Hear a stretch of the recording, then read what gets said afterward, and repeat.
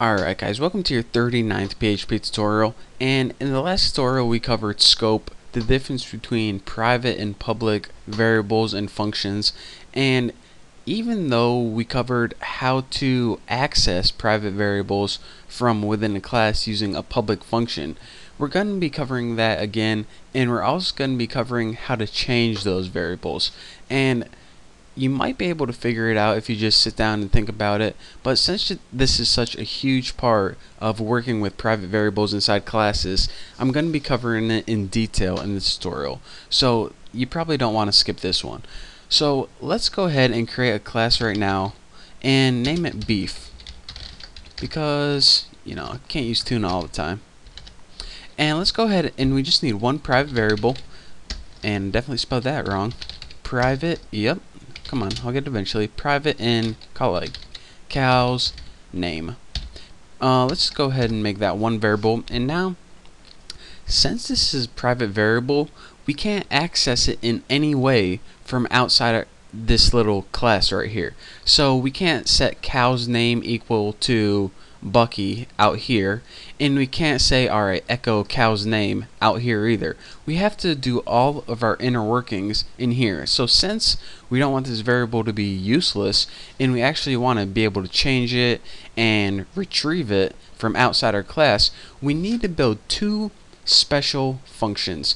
And these functions and I'm not making these up these are called setter and getter functions. Let me go ahead and setter and we'll build our getter down here. Now for every computer programming language where there are private variables this is uh, something. So you know I just want to let you guys know that I'm not just making this up. This isn't a cool nickname I, I came up with setter functions take a private variable and allow you to change them. For example, they can take cow's name and set it equal to Bucky, take cow's name and set it equal to Lisa.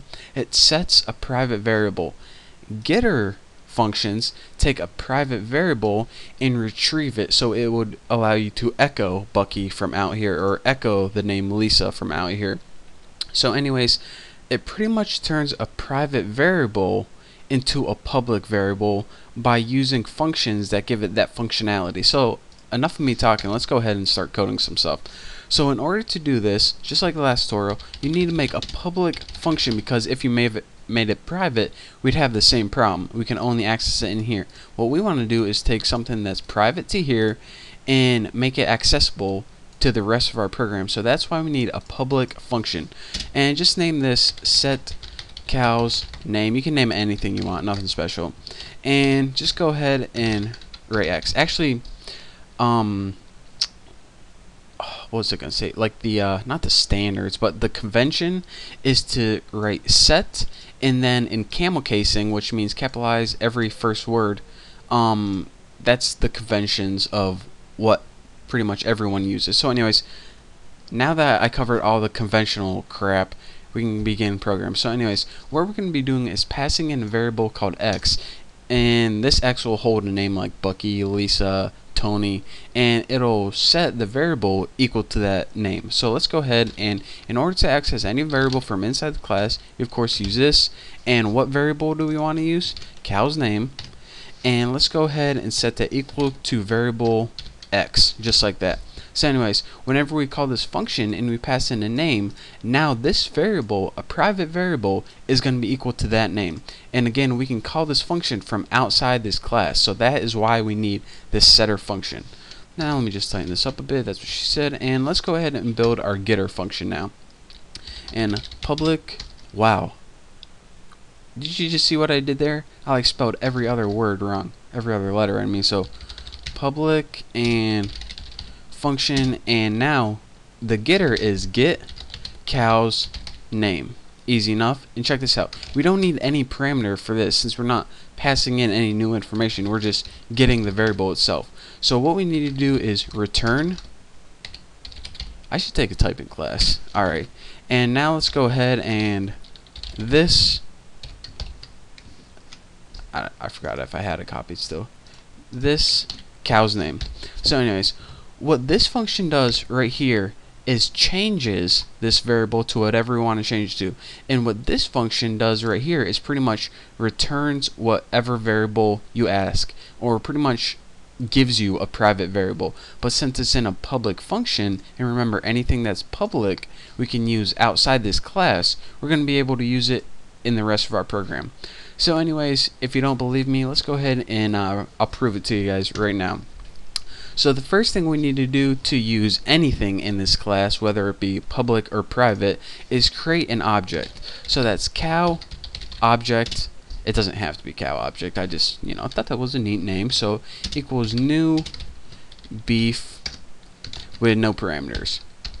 So let's go ahead and it would probably be a good idea to let's go ahead and echo the name right now just so I can show you that it's not blank probably a good idea. But you know it's not a good idea?